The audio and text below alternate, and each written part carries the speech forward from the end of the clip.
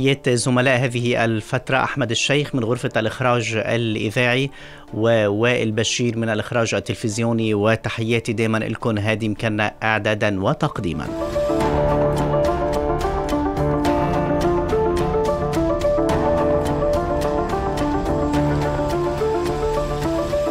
طوارئ عنوان حلقتنا لليوم مستمعينا ومشاهدينا.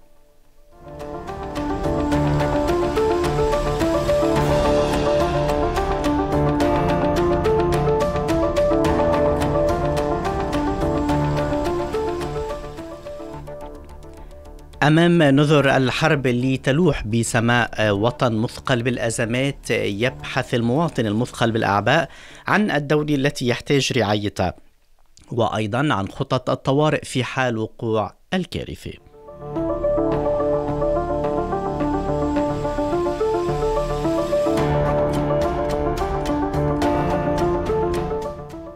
برنامج رأيك بهمنا يرصد جهوزية الناس للحرب وتداعياتها بظل غياب خطط الطوارئ الرسمية المساندة للمواطن اللبناني.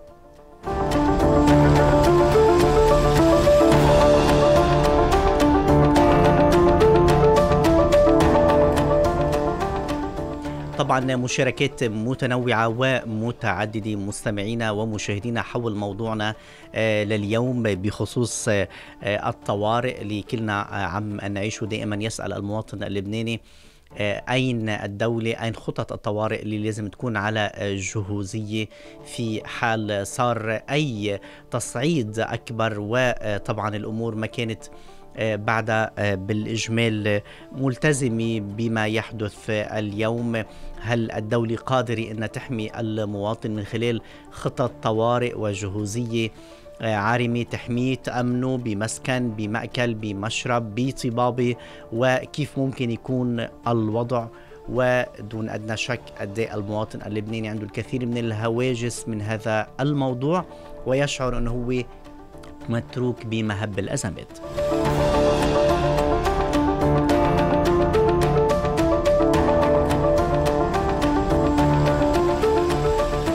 بداية لنحكي أكثر ونتشارك أكثر. من ضمن لنا أستاذ خالد أبو شقرة ككاتب وصحافي. أستاذ خالد يسعد أوقاتك بكل الخير. برحب فيك عبر أثير إذاعة البشائر وعبر شاشة قناة الإيمان الفضائية ضمن حلقتنا لليوم من برنامج رأيك بهمنا. صباح الخير أستاذ هادي لك ولكل المستمعين. أهلا فيك برحب فيك أيضا على شاشة قناة الإيمان آه، الفضائيه مع المشاهدين. آه، طوارئ عنوان حلقتنا لليوم آه، أستاذ خالد. يعني قبل ما نحكي ككاتب وصحافي كمواطن لبناني نعم. نحن إذا بدنا نحكي كمواطنين لبنانيين نعيش نعم. هذه الظروف بوطننا لبنان.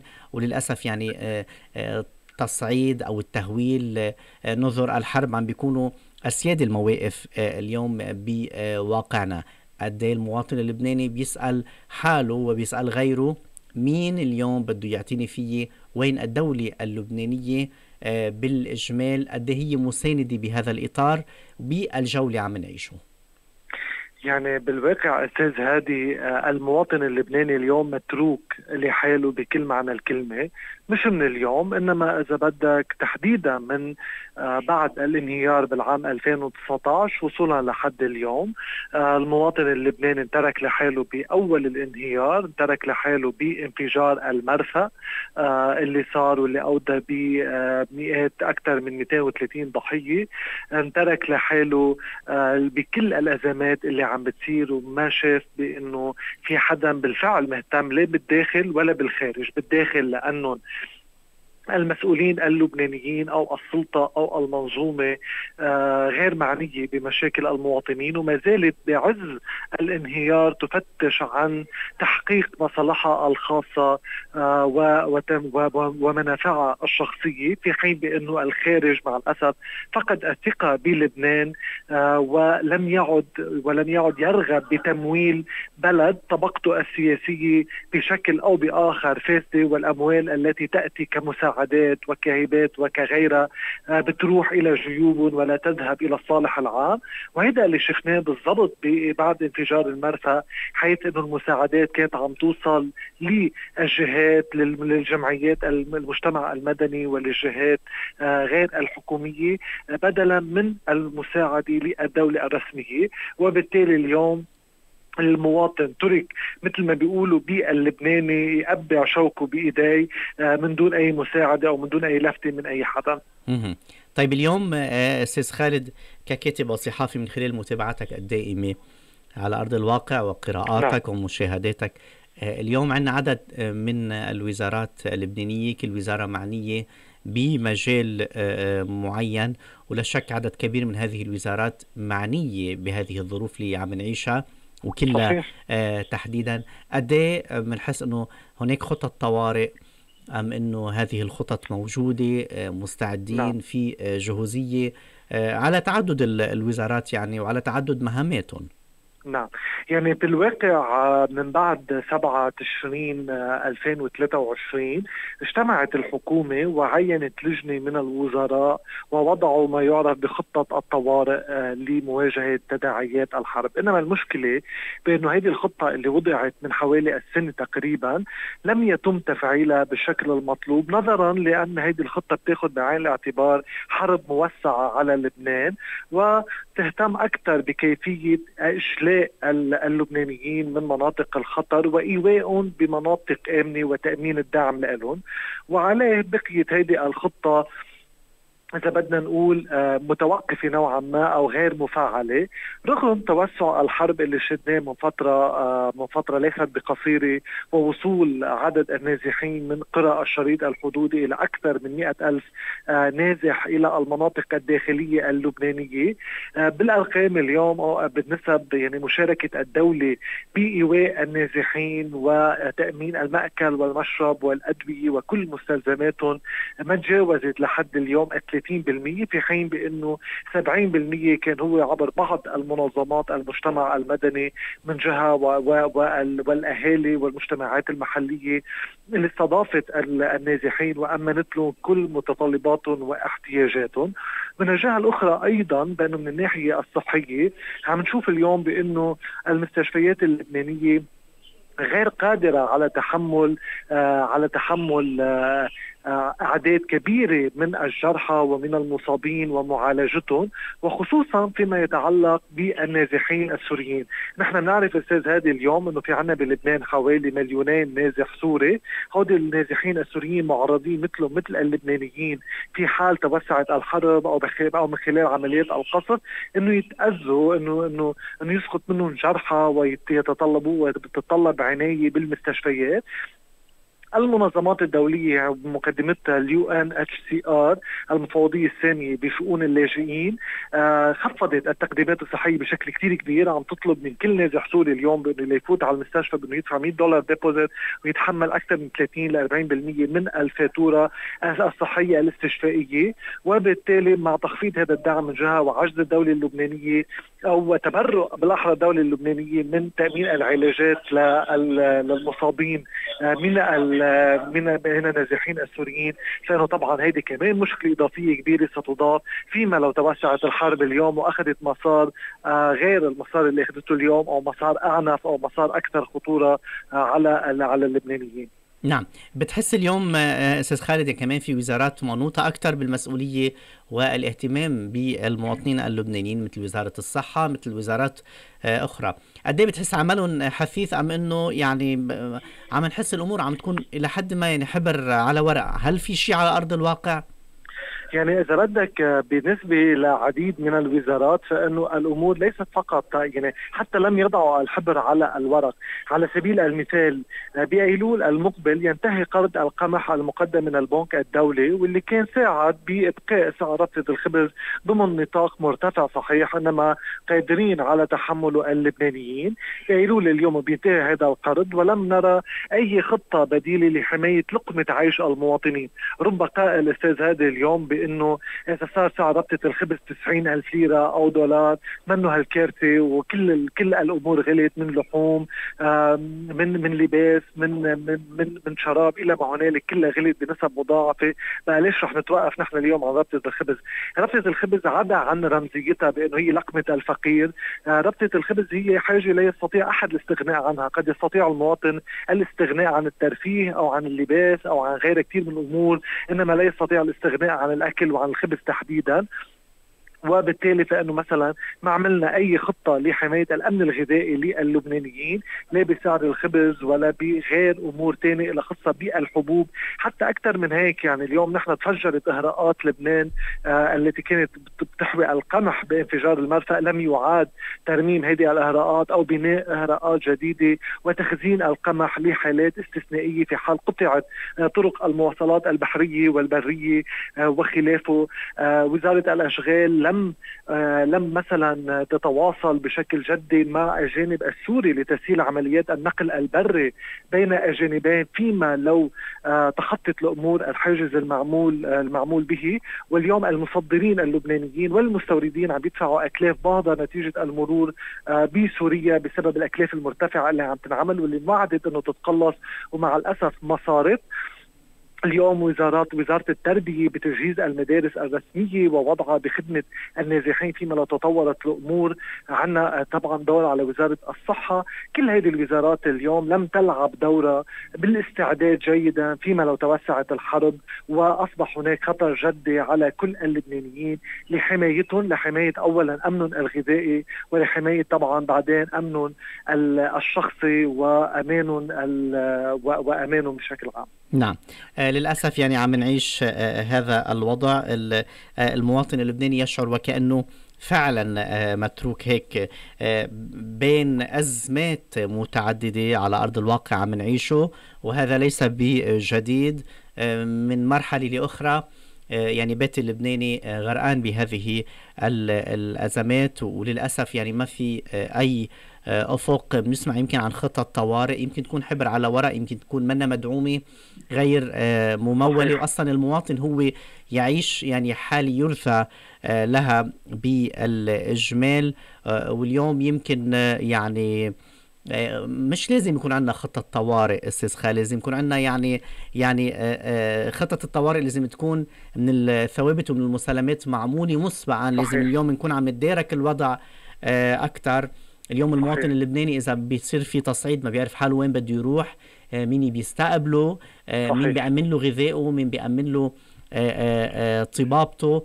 وللأسف كمان إذا بنلاحظ نحن كمان هيدي الأمور اللي بنسمعها على السوشيال ميديا على وسائل التواصل إنه يعني هناك ما يثير القلق أكثر عند اللبنانيين إنه أصوات بتطلع من مناطق معينة بنستقبل ما بنستقبل أهلا وسهلا ما أهلا وسهلا بده يصير في استغلال أو ما بده يصير في استغلال ومع العلم نحن يعني لا نؤيد هذه الأصوات لأنه لا. مش بالضرورة هي تكون بتمثل المنطقة صحيح. اللي هي طالعة منها لأنه اللبنانيين هن معروفين دائما قد مساندين لبعض بأحلك الظروف واصلا إذا بيصير في أي شيء دون أدنى شك اللبناني لخيه اللبناني مهما شو ما كان صاير قبل بين المناطق اللبنانية. للأسف يعني الوضع عم بيكون جدا صعب بهذا الإطار وناس جدا متخوفة. قد بتشوف تخوف الناس وترقبها من خلال مشاهداتك أستاذ خالد ختاما؟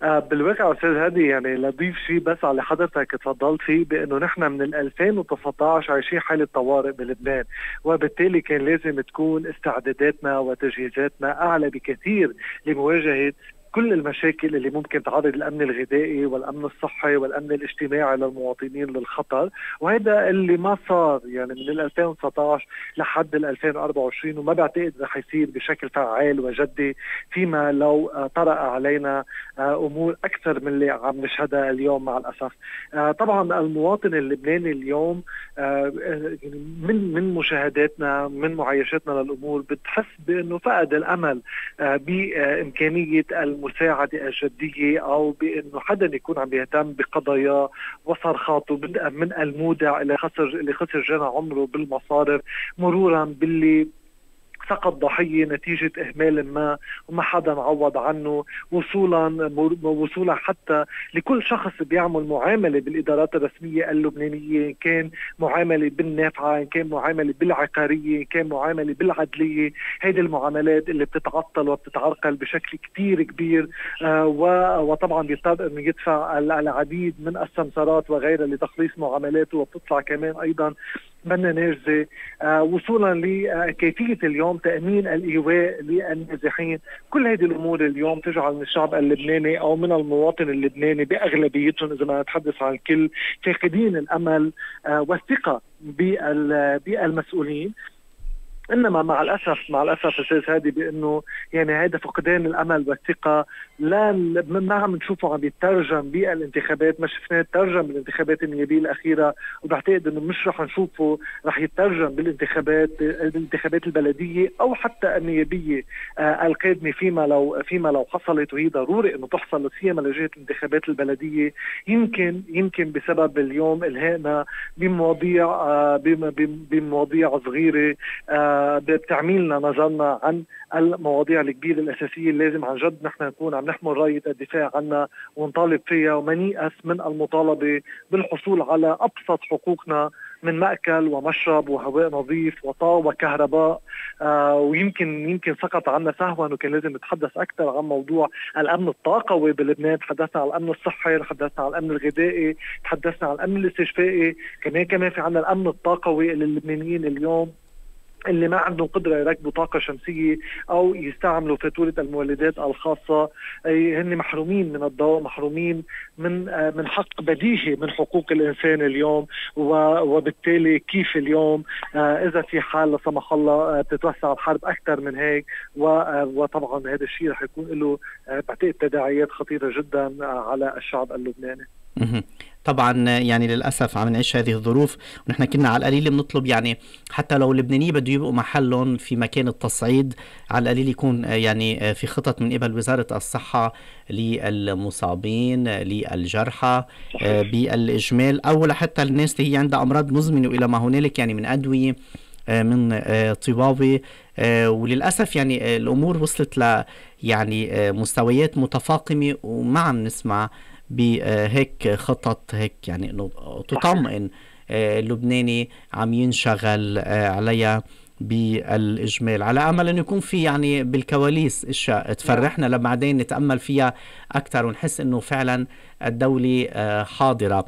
وكمان ما يقلق أكثر أستاذ خالد إنه آه، يعني آه، بيقولوا إنه في خطط عم تندرس ولكن هي غير مدعومة وغير ممولة وناطرين إنه يتم الموافقة عليها من الخارج من الجهات المعنية. وهذا بخوف أكثر يعني إنه نحن وصلنا لهون وما في موافقة على هذه الخطط. ولا اليات تنفيذيه بكثير من الأحيان للخطط التي توضع ومثل مثل مثل القوانين مثل من كثير أمور بتضل حبر على ورق وما بتتحول لخطط فعلية على أرض الواقع صحيح. للأسف. آه، أستاذ خالد أبو شعره ككاتب وصحافي جزيل الشكر لك على مشاركتك معنا اليوم بحلقتنا آه، آه، رأيك بهمنا ويعطيك ألف عافية. شكرا أستاذ الله معك.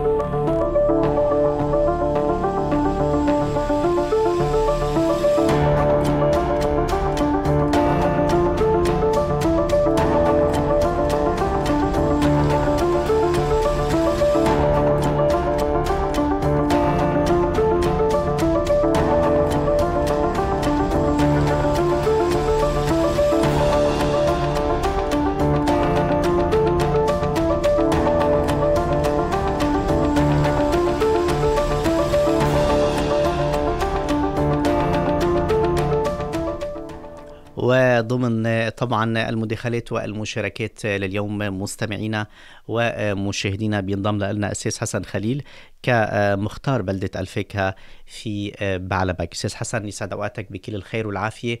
برحب فيك عبر أثير إذاعة البشائر وعبر شاشة قناة الإيمان الفضائية ضمن حلقتنا لليوم من برنامج رأيك بهمنا. يعطيك العافية وصبحكم بالخير جميعا وعلى جميع المستمعين. وشكرا كثير لأنه سمحتوا لنا بهالمداخله الحلوه آه الله يخليك أهلا وسهلا فيك. آه عنوان حلقتنا لليوم أستاذ حسن تحت عنوان آه طوارئ. اليوم قد إيه نحن عايشين حالة آه طوارئ بلبنان بكافة المناطق اللبنانية وقد إيه هالشيء منعكس على الناس بكافة المناطق؟ مضبوط 100% يعني أنا بدي أحكيك لسان حال المنطقة أو, نعم. أو بيئتنا. يعني إحنا كل المؤشرات تدل على حدوث حرب أو بالأحرى نحن بوضع حرب هلأ في الوقت الحاضر خاصة إنه الوضع الاقتصادي هو صعب. صار لنا أربع سنين إحنا عم نعاني من وضع اقتصادي كثير سيء. بالوقت اللي فيه السياحة كمان تراجعت بشكل كثير كبير هذه السنة. بعد ما كان في 2023 1.6 مليار دولار. اليوم نحن بعجز كثير كثير بهذا الموضوع. نعم. آه وشو شو اللي عم بيزيد العبء أكثر هلأ حاليا؟ هلأ بالنسبة يعني نحن مثلا درجة أولى بنقول إذا صار في حرب عندنا درجة أولى اهتمام راح يكون بالمستشفيات. إذا اليوم من دون حق عم على المستشفى مش عم يستقبلونا. لأنه يعني حتى أنا مثلا عندي ضمان بيعملوا لك ألف مشكلة إنه ما في تفوتي بيعملوا لك ألف حجة. فكيف إذا كان في حرب؟ كيف آه، عندها المستشفيات قدرة إنه تستقبل هاي الجرحى أو الاضرار اللي بتنتج عن هاي الحرب اللي نحن قادمين عليها. كيف نحن مثلا بالحرب 2006 آه، اللي قدم لبنان 1200 شهيد واستمرت وقتها 33 يوم. صحيح لبنان انتصر بس كمان كانت المواطن بيقدر ياخذ عائلة أولاده ويروح على سوريا. نعم كان كان الوضع مختلف. الوضع كثير كثير مختلف. أما اليوم أنت بظل هذا الوضع في آه مش كبير. هلا أنا عم بحكيك مش عم بحكيك رايي الشخصي عم بحكيك لسان حال الناس. نعم. عندك أنت اليوم بلبنان البنيه التحتية مخترقة متداعيه عندك آه منا منا قدرانين نعمل صيانة للطرقات آه تكلفة الأعمار. بالسابق اجى مين يقدم يساعد بالأعمار؟ كان قطر ولا دول ثانية اليوم الدول العربية كلها سوا ورؤساء للأسف فيك تقول متآمرين على لبنان. يعني عم يتفرجوا علينا مثل ما عم يتفرجوا على غزه وآخر همهم شو بيصير بغزه كمان اليوم عم يتفرجوا علينا وآخر همهم شو بيصير بلبنان. وخاصة الرؤساء يمكن الشعب بيختلف عن الرؤساء بس الرؤساء الحاكمين هن رايحين باتجاه العمالة حسب ما مبين واضح للعين. نعم. آه، طيب اليوم آه، آه، بمنطقة بعلبك عم بيكون في طبعا من وقت للتاني يعني ضربات وإلى ما هنالك. والناس حالة حاسة حالة مهددة يعني مش بس بالجنوب اللبناني. بمناطق لبنانية مختلفة. قد إيه الناس اليوم تحس حالها متروكة؟ ما في حدا عم يسأل عم يسأل عنها بالإجمال خصوصا لناحية الدولة اللبنانية. استاذنا كريم 100% وحضرتك وضحتها هي الدولة اللبنانية هي عاجزة بالأساس فكيف بدها تقدر تحمينا أو تدافع عنا. نحن ستنضرب الجنوب كأنه انضربت الفاكهة. أي منطقة بلبنان مهددة حتى نحن صار في ضرب كان بنبيشيت من يومين والقصف الأول عنيف أو الطيارات اللي بضل باجوائنا فنحن أي منطقة تنضرب أو أي شاب بيستشهد هو هو ابننا أخونا. فنحن اليوم صار في أكثر من 500 شهيد رايحين كل شاب آه، أحلى من الثاني. فنحن وين وين رايحين؟ وين الأمور رايحة؟ يعني آه، حاسين حالنا إنه نحن رايحين على على المجهول. آه بس هون بدي أقول لك شغلة. يعني بالآخر يعني نحن أنا بالحقيقة كمختار بدر أنا بالآخر سني بس. أنا بالآخر ما فيني يكون إلا مع مع المقاومة لنقدر ندافع عن أرضنا. ما راح اكون أنا قاعد أتفرج. يعني صح نحن الدولة عازة ومش عم تقدم لنا شيء بس نحن بالآخر ما رح نكون بموقع المتفرج. رح نساند وندافع بقدراتنا لأنه بالآخر هي هي الحرب اللي عم تصير انه هي عم تنفرض علينا. يعني هي المقاومة انوجدت لأنه في عدو محتل أرضنا. ما انوجدت يعني ما انوجدت بعدين هيك آه، فوشة كايس. لا انوجدت بالبداية لأنه في آه، عدو متربص على أرضنا. انوجدت لحتى تدافع عنا تدافع عن كرامتنا عن عزتنا. فنحن بالاخر قد ما يكون يعني صح ما عندنا الامكانيات صح امكانياتنا كثير ضعيفة صح الدولة عاجزة بس ما رح نكون نحن بموقع المتفرج رح نقول معلش يعني بالآخر رح يمكن نقدم نقدم أولادنا نقدم كل شيء للدفاع عن هلأ الأرض. هي بعدنا هي الوحيدة كرامتنا. طيب اليوم اليوم بهذه الظروف يعني المواطن بيسأل أنتم كمواطنين قد إيه بتسألوا إنه عن خطط الوزارات وزارة الصحة والوزارات آه، الأخرى؟ يعني الواحد إذا بيطلع من بيته إذا بصير شيء ببعلبك كل واحد بده يطلع من بيته. مين آه، آه، بده آه، يستقبل الناس التاني؟ هل الدولة مسؤولة إنها تأمن للناس بالنهاية في مأكل في مشرب؟ قد إيه قد إيه اليوم هيدا هاجس عند كل الناس بالإجمال ببعلبك وبكل المناطق؟ بال بال 2006 يعني نحن هون ببلدة الفاكي فتحنا المدارس قدرنا نأمن تمويل من الناس اللي عندها الأمكانيات المادية لتساعد. اللي كانت عم تساعد نعم. نحن نحن إنه بنيجي نعمل خطة أو نعمل حاله حالة مساندة. بس بالآخر ما ما بإيدك مصاري ما بإيدك ما عندك إمكانيات. المدرسة اليوم إذا جيت تقدمها لتفتح تستقبل اللاجئين ما عندك الامكانيه يعني لا لا فيها مي لا فيها تجهيزات لتستقبل مثل كانت بال 2006 كان الوضع أحسن بكثير من هلأ. يعني عندك حتى إذا بدك تأمن اكل في مشكلة في عجز بهذا بس بالآخر يعني برجع بقول لك يعني والدولة مش رح تقدر تساند بهذا الموضوع لأنه هي عاجزه ما عندها الامكانيه يعني بده يكون آه، آه، يعني استعدادات محلية ناس آه، تساعد بعضها.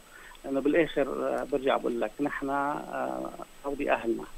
والمنطقة كانت جنوب. نحن بعلبك كلها كلها لبنان دولة وحدة وراح نساند بعضنا. لأنه نحن بصراحة رايحين على حرب نعم. هذا اللي مبين يعني خاصة اليوم هلا قمنا على خبر الصبح إنه جاي كمان نقل صواريخ ثاني على الشرق الأوسط.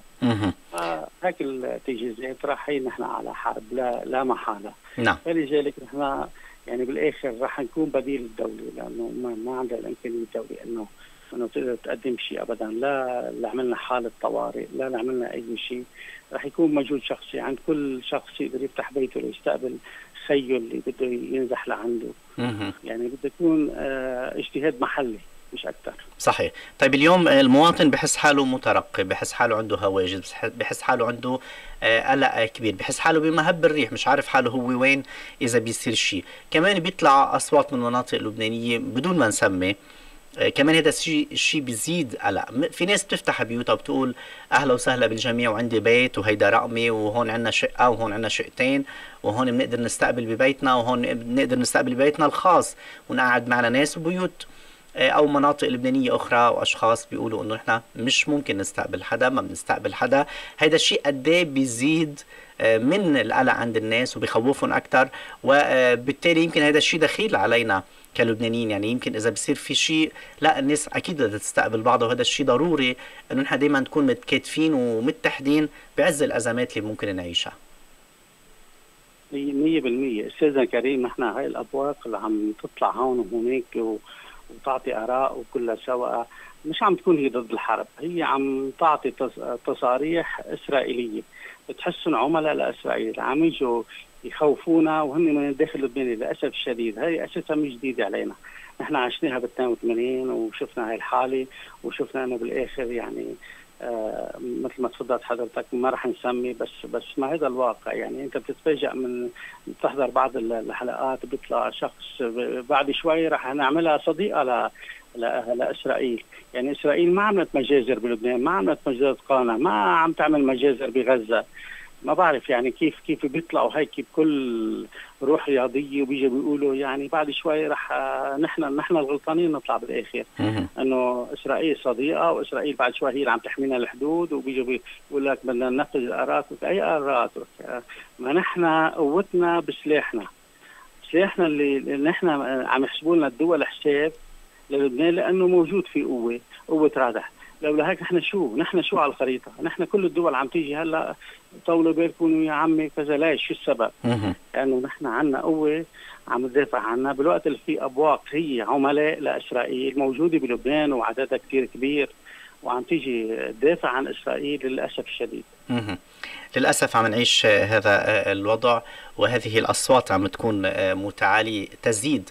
من للأسف الشرذمة وبتزيد من التفرقة وهذا الشيء ما حدا بيحبذه لأنه اليوم عم نعيش هذه الظروف لازم يكون في هناك من يعني يساعد إنه يكون في ترابط ولحمة اجتماعية لبنانية وان شاء الله أكيد طبعا يعني هذه الأصوات بتكون بتمثل نفسها وما بتمثل المناطق بالإجمال اللي جاي منها أستاذ حسن خليل كمختار بلدة الفاكهه من بعلباك. جزيل الشكر لك على مشاركتك معنا اليوم وأهلا وسهلا فيك.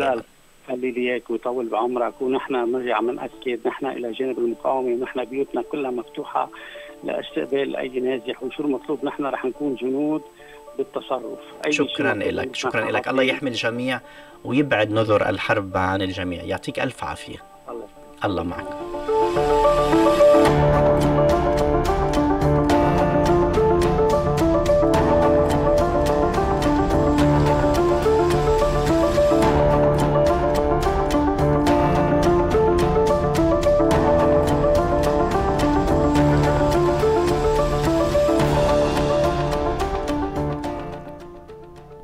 آه، طبعا حلقتنا لليوم تحت عنوان آه، طوارئ وبشكر جميع اللي عم بيشاركوا معنا بحلقتنا لليوم وأكيد بشكر زملائي أحمد الشيخ من غرفة الإخراج الإذاعي ووائل بشير من الإخراج التلفزيوني على طبعا متابعتهم وعملهم الحثيث ضمن الحلقة لليوم.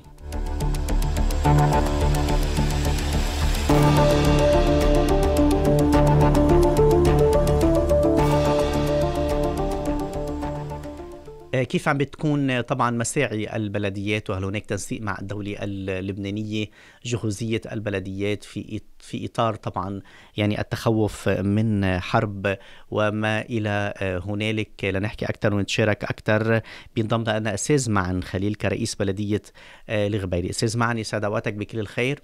برحب فيك عبر أثير إذاعة البشائر وعبر شاشة قناة الإيمان الفضائية ضمن حلقتنا لليوم. صباح الخير لحضرتك وكل المستمعين الكرام. أهلا فيك والمشاهدين أيضا. أستاذ معن حالتنا لليوم تحت عنوان طوارئ. قد إيه بينعكس اليوم هالشيء على الواقع اللي عم نعيشه بلبنان بالإجمال بكافة المناطق اللبنانية والتخوف من تصعيد وحرب؟ هلأ إذا بدنا نحكي طوارئ نحن يمكن بحالات طوارئ من 2019 يعني من بداية الأزمة الاقتصادية والمشاكل اللي صارت بالبلد البلديات هي بحالة طوارئ. هلا هيدي الحالة اليوم أكيد طبعا مع عدوان إسرائيلي وحرب جنوب وعلى الحدود وغارات بالداخل أكيد زادت من من منسوب العمل البلدي وتغيير كمان بأداء العمل البلدي لاستيعاب الحالات الطارئة اللي عم بتصير. إن كان من نزوح ولا تحضير يمكن وأخذ بعض الإجراءات من البلديات إذا توسعت دائرة الحرب. لا سمح الله. وبنفس الوقت آه كمان بدنا نحتسب لكل الأمور المعيشية والاقتصادية فضلا عن الأمنية كمان والخدماتية. لأنه في لها انعكاس علينا بال بالخدمات. طبعا النزوح بيأثر. نعم. دون ادنى شك اليوم أنتم كيف عم تقوموا بدوركم بهيدي المرحلة؟ لنحكي عن مرحلة الطوارئ بالإجمال. يعني اليوم مع النزوح اللي صار على مناطق الضاحية الجنوبية من القرى الجنوبية أكيد زادت نسبة السكان وانعكاس نسبة السكان بتعرف بالعجقة السير بال يمكن المشاكل اللي ممكن بعض المشاكل تصير التنظيم المروري بدنا نفعل أكثر سلامة الغذاء رفع المخالفات عن الطرقات يعني هو بالعمل البلدي طبعا كمان تنظيف المجاري كله بينعكس أزمة المي بتنعكس الكهرباء بتصير في أعطال كهرباء إضافية أعطال مي إضافية. كل هيدي البلدية عم تشتغل اليوم بسعي يومي لتخفيف هيدي المشاكل الطارئة دون أي متابعة يمكن لمشاريع مثل ما بقولوا استراتيجية وكبيرة بهذا الظرف. عملنا متفرغين نحن هلأ حاليا صيانة عامة الحفاظ على ما تم إنجازه بالفترات السابقة وضبط أهم شيء عندنا الحركة المرورية وازدحام السير. نعم، طيب على صعيد الدولة اللبنانية قد اليوم أنت كمواطن لبناني أهل المنطقة بكافه المناطق اللبنانية بيحسوا حالهم آه إنه آه طبعا هن متروكين ما في خطة آه طوارئ خاصة بالوزارات المعنية وطبعا بيحسوا حالهم إنه هن متروكين، قد بتسمع هالشيء على أرض الواقع ببيروت وبكافه المناطق؟ هلا آه نحن كمواطنين وكمسؤولين بالبلديات آه لغاية اليوم نحن آه ما تلقينا أي تعاميم آه من الوزارات أو من الخلية اللي عملها مجلس الوزراء بخصوص التدارك أو آه الاستعداد لأي شيء خاصه بموضوع توسع الحرب. آه قد يمكن بالأيام المقبلة أو إذا بيصير شيء آه نطلب لهذا لاجتماعات أو تحضيرات. آه ففينا نقول يعني يمكن الدولة اليوم غايبة عن البلديات. يمكن الدولة عم تعمل إجراءاتها بمطرح ما مع جمعيات أو مع قوى أمنية بس مع البلديات ما عم بصير في تنسيق بهذا الموضوع. وآخر شيء نحن بنخاف كمان مثل بكل أزمة نترك لحالنا نفتش كيف بدنا نلملم الوضع لما بصير شيء إن كان على صعيد الإغاثة على صعيد الايواء على صعيد بعض الخطوات اللي هي بترافق عادة الحروب تأمين نعم. مياه كهرباء تشغيل آبار إلى آخره. نعم. طيب على صعيد آه، البلديات هل في تنسيق بينكم وبين الدولة؟ في خطط من قبل الدولة مع البلديات؟ في في شيء من هذا القبيل ولا لا؟ نعمل لك آه، نحن لا ما تلقينا أي خطط آه، لدور البلدية حتى ما طلب إلينا يعني حتى كمان إنه شو مطلوب خطوات من الدولة تأمنها للبلديات لأن نحن طبعا عندنا حاجات على صعيد إذا بدنا نيجي نقول اليوم نحن شو حاجاتنا على صعيد يكون في آليات مجهزة آه رفع أنقاض آه آليات آه بنستأجرها لفت... لإزالة ردم آه مواد غذائية إذا صار في نزوح آه إلى آخره. كل هذه الشغلات الدولة ما يعني ما ما تواصلت معنا لحتى لا لا تطلب آه، حاجاتنا أو لا هي لا تقدم لنا شيء بالمقابل. هلأ نحن عم نشتغل على صعيد البلدي. نحن والاتحاد عم نأمن بعض الموارد عم نأمن بعض التجهيزات بما تيسر كمان من إمكانيات اليوم ضعيفة اللي هي الإمكانيات ضعيفة إن كان بالاتحاد ولا البلديات. ومتكلين بالأخير على همة أهلنا وناسنا وتعاونهم إن شاء الله أكيد بالأزمات العالم بتقرب لبعضها أكثر وبتتعاون أكثر كمان لحل أزماتها وقت اللي بيصير شيء. نعم. إن شاء الله بنقطع المرحلة. نعم. الله يقويكم دائما ويكون مع الجميع وشكرا لكل شيء عم تقدموه آه، ببيروت. وإن شاء الله الأوضاع يعني ما بتتصاعد أكثر لأنه للأسف الوضع صعب عم بيكون. أستاذ حسن آه، أستاذ معن خليل كرئيس بلدية الغبيري آه، بيروت. شكرا لمشاركتك معنا واهلا وسهلا فيك دائما شكرا لحضرتك. الله معك.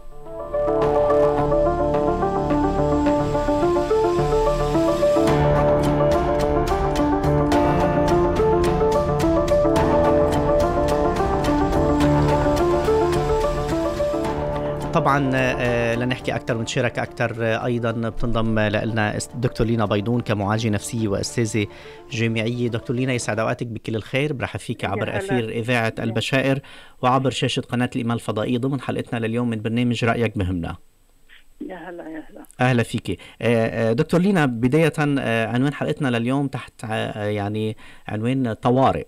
ونحن عم نعيش طوارئ. كيف تشوفي الطوارئ اليوم؟ قبل ما نحكي من الناحية النفسية كمواطنة لبنانية كيف تشوفي حالة الطوارئ اللي عم نعيشها اليوم بالإجمال كلبنانيين بكافة المناطق؟ يعني يا ريت في حالة طوارئ. يعني يا ريت في تحضير مناسب للحرب اللي جاية أو الحرب اللي عم تصير ببعض المناطق. آه، يعني لو كان في خطة طوارئ آه، حكومية آه، كان الواحد بعيش أكثر مرتاح يعني بيكون في تحضير للحرب للملاجئ لمستلزمات الحياتية للمطارح الآمنة. هيدا موضوع كتير مهم بخفف الأزمة النفسية عند الناس.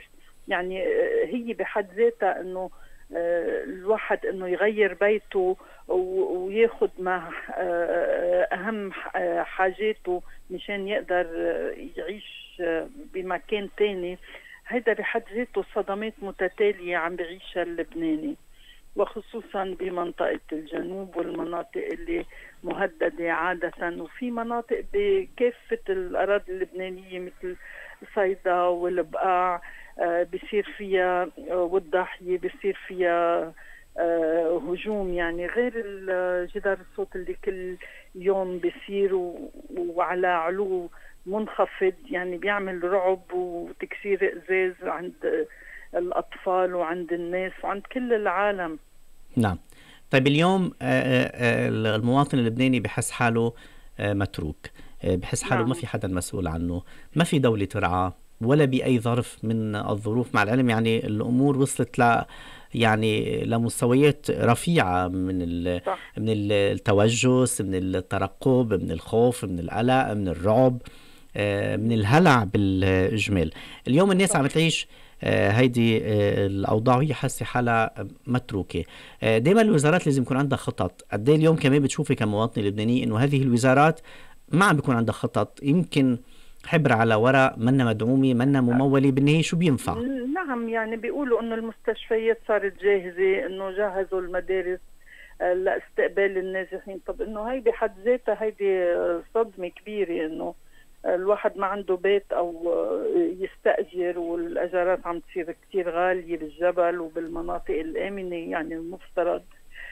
هيدي بحد ذاتها يعني فوق ضغط اللبنانية إنه مصرياتهم آه، مسروقين بالبنوك ومش عم بيردوا لهم إياها. كمان أزمة إضافية فوق الأزمات اللي هن عايشينها. هلأ في ناس قسم من الناس إنه منهم مصدقين إنه حيصير في حرب مثل حرب ال 2006 مع إنه بال 2006 كانت أسباب الحرب يعني آه، ما وصلت التبادل آه، القذائف وإطلاق النار نعم اشتعلت بسرعة. لبنان. آه، اشتعلت بسرعة ولأسباب إنه ما صار فيها التبادل بالقصف. يعني واشتعلت بسرعة وضربوا دغري المطار. لما بيضربوا المطار ساعتها بيكون يعني الناس بتيقن إنه البلد بطل آمن. يعني نعم. مع إنه نحن عم نشوف إنه في آه سفن عم تجي مشان تقدم مواد غذائية ومشان تنقل اللي عندهم جنسيات أمريكية. كمان يعني فالناس مش عم تصدق غير ما بيقولوا بيوقع الفاس بالراس مثل ما بيقولوا. وفي ناس اللي ما عندها امكانيه تقدر إنه تطلع من بيتها أو آه يعني كمان إنه الواحد لما بده يقعد عيال عدة عيال ببيت واحد كمان هيدا الشيء بيعمل أزمات. يعني الواحد اللي معود يقعد لحاله مش عود يقعد مع عيال كتير. هذا بحد ذاته صحيح إنه قاعد بأمان ولكن الأمان النفسي والأسري بينعدم. نعم للأسف هذا الوضع بيكون آه، بهذا الإطار. آه، كل وزارة عندها آه، اليوم مهام خصوصا وزارة الصحة اليوم يعني مهامها بدون يكون كبير بخطط الطوارئ. ولكن على الناحية النفسية أطفال صغار عجز نعم. شباب على تعدد الفئات العمرية. دكتور لينا يعني عم بيعيشوا أبشع الأحاسيس مهددين نعم يعني عدم استقرار. لوين الناس رايحة من الناحية النفسية؟ من الناحية النفسية إنه على طول بنعمل خطط نفسية. مثلا وقت الكورونا بلشنا يعني آه، دائما من بعد الحرب عادة بصير في تدخل نفسي. آه بس وقت الكورونا صار في تدخل نفسي من بداية أزمة الكورونا.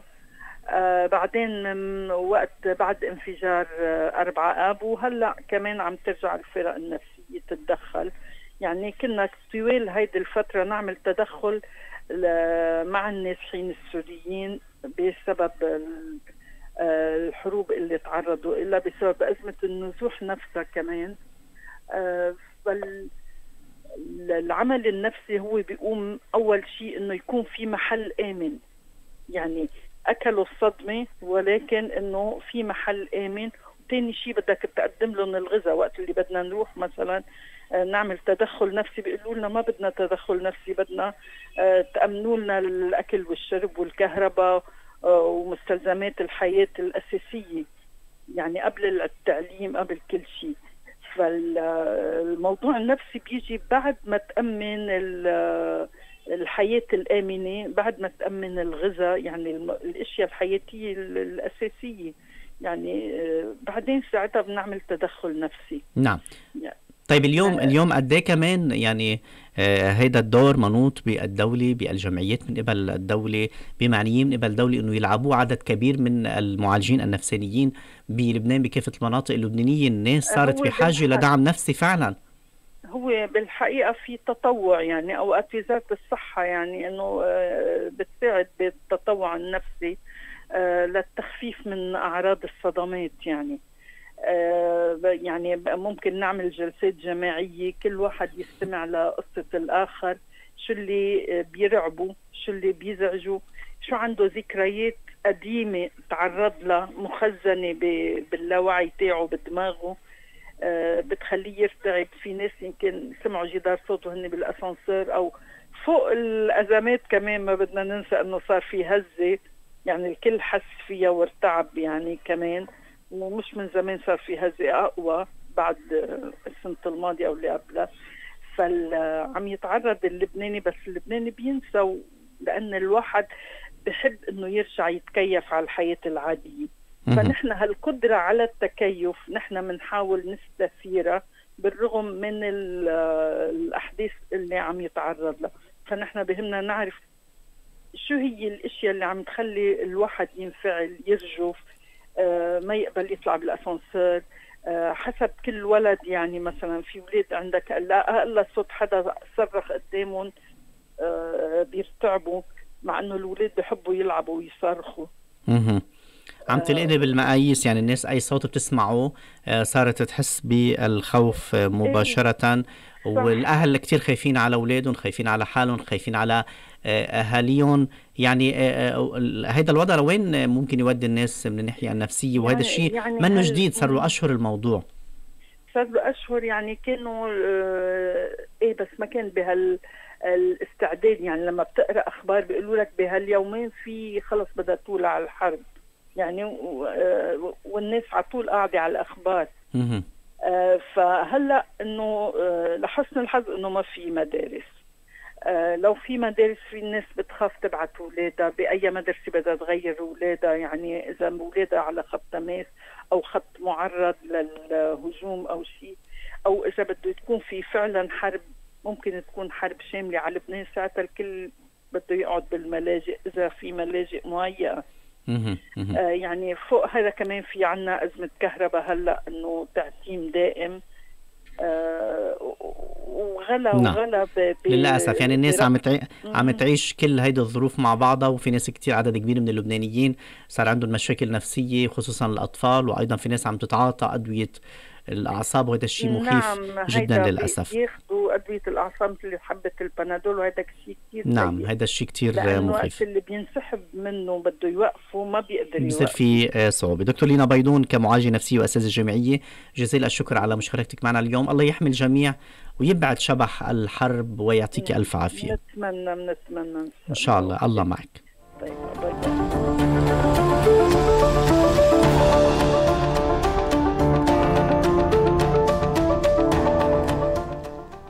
بختام حلقتنا لليوم مستمعينا آه، ومشاهدينا بنتمنى فعلا أنه شبح الحرب يضل بعيد والويلات تضل بعيدة لأنه آه، يعني آه، لبنان عاش وما زال يعيش هذه الظروف الصعبة. الله يحمي اللبنانيين جميعا بكافة المناطق اللبنانية ويكون معهم والله يحنن دولتنا على شعبها بما فيهم الوزارات والمعنيين لأنه المواطن اللبناني ينتظر يد تمتد له آه، بهيك ظروف هالقد صعبة.